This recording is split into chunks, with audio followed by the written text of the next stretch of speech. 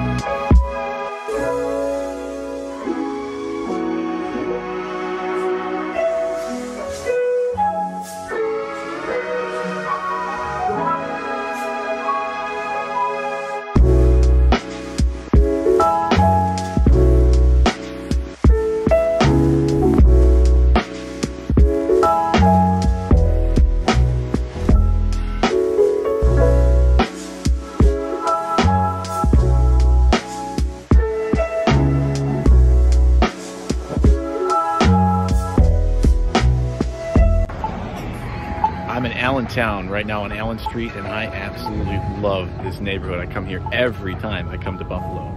It's uh, it's cool, it's eclectic, it's diverse, it's just got a good vibe.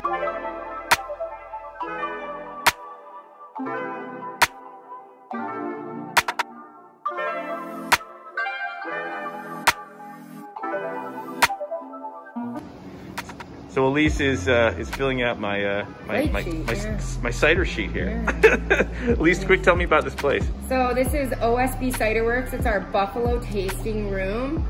We've been open since the very end of December. Yes, we did open in a pandemic.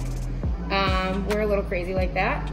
But uh, we're here and we're doing pretty okay. It's kind of a work in progress, but we've got 16 ciders on and variety of beers. We got our buddies from Mortalis with some beer on there, uh, K2, some local Thin Man and 12 gauge. Try to mix it up, some Rochester local, some Buffalo local, you know, bring it in and around. So yeah, it's just something a little fun. Try a quick, quick sip of a few things and make it interesting for yourself. Do you have an Instagram account? Do you? Do you, Glenister?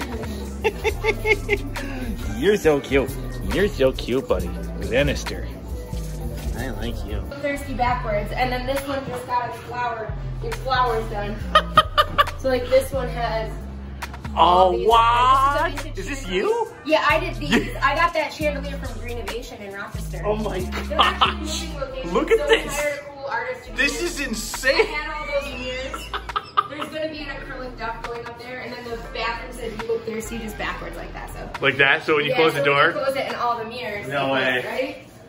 Oh my gosh.